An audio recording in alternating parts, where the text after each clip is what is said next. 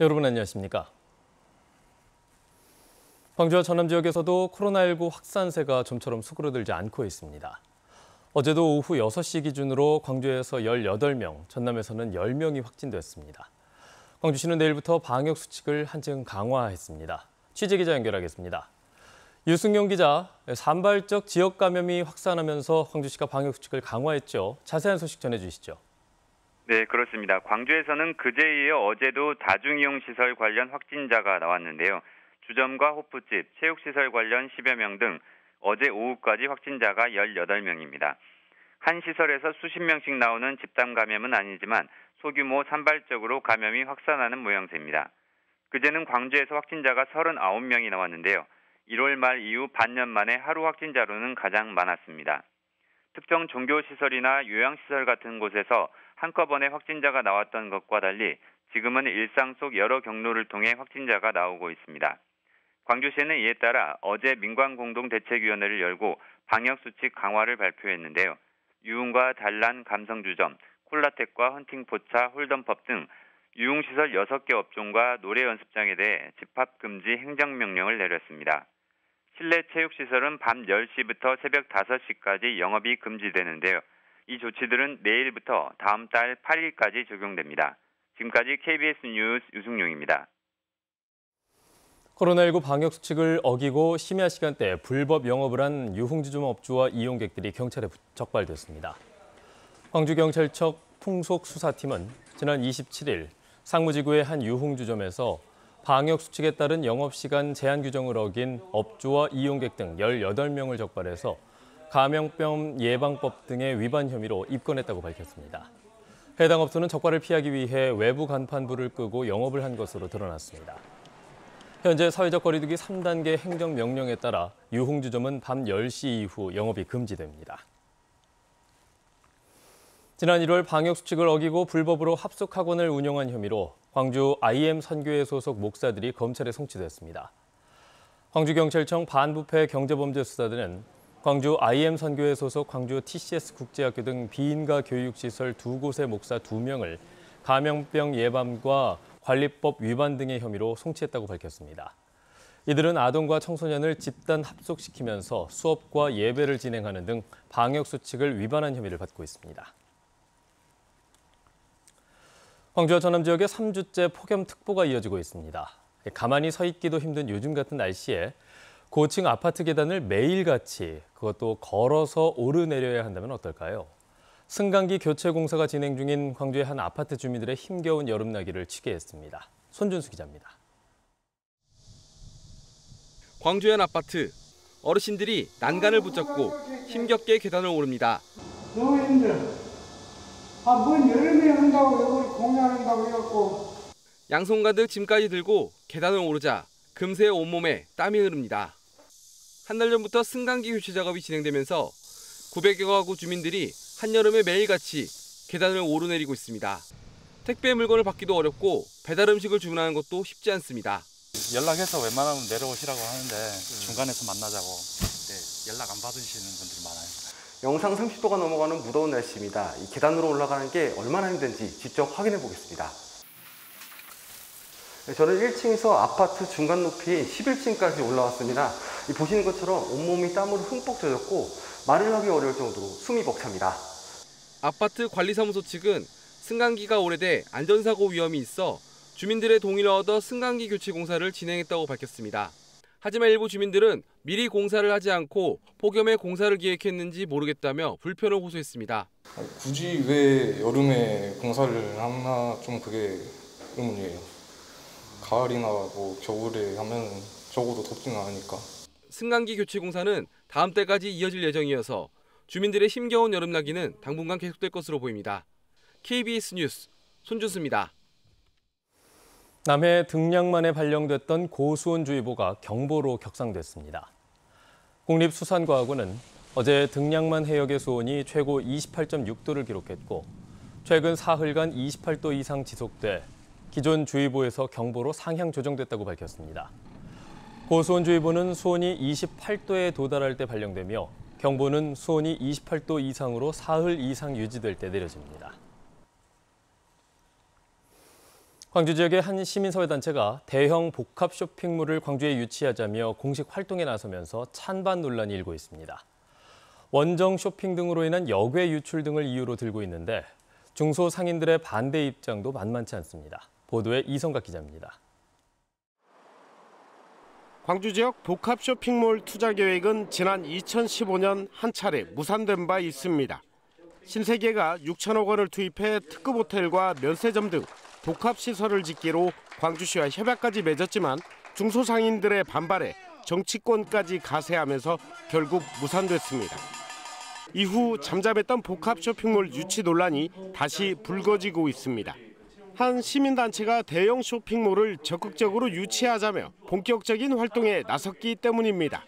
이 단체는 전국 광역시 가운데 유일하게 광주에만 복합 쇼핑몰이 없다며 전남방직과 일신방직터에 쇼핑몰을 유치하자고 제안했습니다. 소비자 선택권 확대에 목말라 하는 시민들이 대형 복합 쇼핑몰을 찾아 하남으로, 대전으로, 광명으로 원정 쇼핑을 떠나고 있습니다. 대형 쇼핑몰 유치가 공론화되자 중소상인들을 중심으로 반대 여론도 결집되고 있습니다. 이들 단체들은 코로나19 장기화로 중소상인들이 힘겹게 버티고 있다며 공론화 자체에 대해 강하게 반발하고 있습니다. 쇼핑몰 유치로 인한 지역상권 몰락 역시 불보듯 뻔하다는 겁니다. 복합 쇼핑몰 입점 반대 대책위를 꾸려 오랫동안 힘겹게 싸웠다. 유통 대기업의 이윤을 위해 시민의 일자리와 생존권을 희생해야 한다는 주장은 절대로 받아들일 수 없다. 복합 쇼핑몰 유치에 나선 단체는 대선 후보 캠프에 공약으로 제안하는 등 본격적인 활동을 예고하면서 찬반을 놓고 진통이 예상됩니다. KBS 뉴스 이송각입니다. 전남의 한 사립대학교에서 재학생 확보율을 높이기 위해 신입생과 편입생을 모집하는 과정에 학생 수 부풀리기를 했다는 의혹이 제기됐습니다.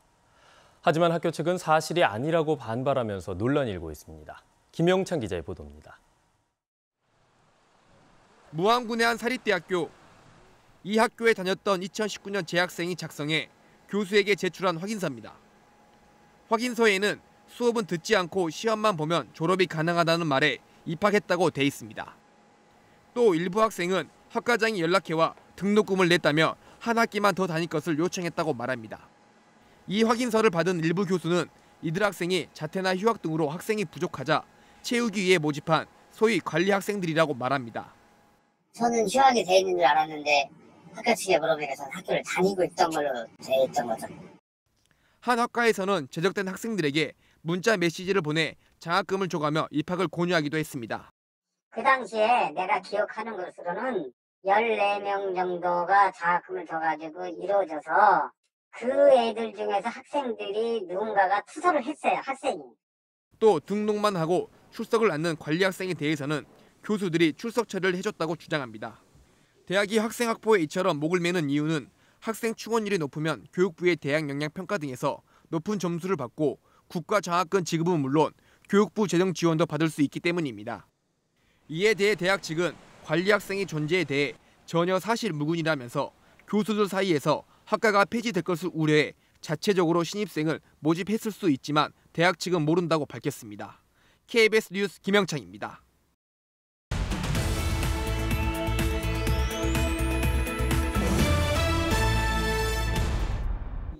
장흥군이 민족통일 장흥군협의회와 북한 이탈 주민 정착 지원을 위한 업무 협약을 체결했습니다.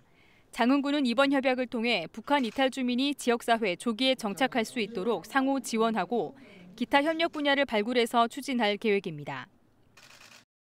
광주 광산구가 폭염에 취약한 시민들을 위해 공적 돌봄 자원봉사 공동체 출정식을 열고 본격적인 활동에 들어갔습니다. 광주 광산구는 각 단체 후원으로 마련된 돌봄 키트를 750여 세대에 전달하고 집수리 등 긴급 지원도 병행합니다. 무안군이 지역 청년들에게 양질의 일자리를 제공하고 청년의 행복한 내일을 지원하기 위해 지역 기업들과 청년 정규직 채용 협약을 체결했습니다. 이에 따라 무안군은 기업들이 청년을 정규직으로 채용할 경우 매년 최대 3명의 청년을 기준으로 900만 원의 인센티브를 지원하고 이를 위해 사업비 6천만 원을 투입할 예정입니다. 전남을 대표하는 해수욕장 가운데 하나인 완도 신지 명사심리 해수욕장에 방문객 통계용 무인 계측기가 설치됐습니다. 완도군은 기존 차량 계측기의 중복 집계 문제를 해결하고 이용객 수를 정확히 파악하기 위해 국내 해수욕장에서는 처음으로 스마트 무인 계측기 5대를 설치했다고 밝혔습니다. 지금까지 단신 브리핑이었습니다. 네, 이어서 오늘과 주간 날씨 전해드리겠습니다. 오늘 광주와 전남 지역은 구름이 많은 가운데 폭염특보가 이어지겠습니다. 낮 기온은 광주와 담양, 구례 등 전남 북부가 33도 이상으로 오르겠고 목포와 순천, 여수 등은 30도에서 32도의 분포를 보이겠습니다. 바다의 물결은 0.5에서 1m로 비교적 낮게 일겠습니다. 서해남부 앞바다를 중심으로 짙은 안개가 끼는 곳이 있겠습니다. 주말과 휴일에는 가끔 비가 내리는 곳이 있겠고 월요일에도 비가 이어지겠습니다. 다음 주에도 낮 기온이 33도 안팎으로 올라 폭염이 지속되겠고 소나기가 내리는 날이 많겠습니다. 국민의힘 이준석 대표가 오늘 여수와 순천, 광양 등 전남 동부권을 방문합니다. 이 대표와 정운천 국민의힘 국민대통합위원장 등은 오늘 오전 여수와 순천에 있는 여순 사건 희생자 위령비를 각각 참배하고 유족회와 간담회를 갖습니다. 또 순천 웃장에서 지역 소상공인들과 간담회를 갖고 포스코 광양제철소를 방문할 예정입니다. 민주노총이 경찰의 광주 학동 붕괴 사고 중간 수사 결과 발표에 대해 현대산업개발이 불법 재하도급과 해체 계획서를 무시한 철거 공사를 묵인한 정황이 수사를 통해 드러났는데도 하도급 업자들만 구속하는 데 그친 부실 수사라고 규탄했습니다.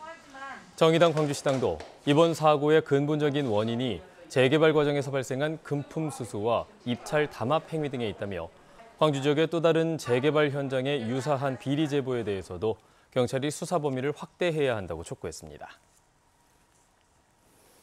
지난달 광주의 한 야산에서 숨진 채 발견된 고교생의 학교 폭력 가해자로 지목된 동급생 3명 중 2명이 공동 상해 혐의로 구속됐습니다.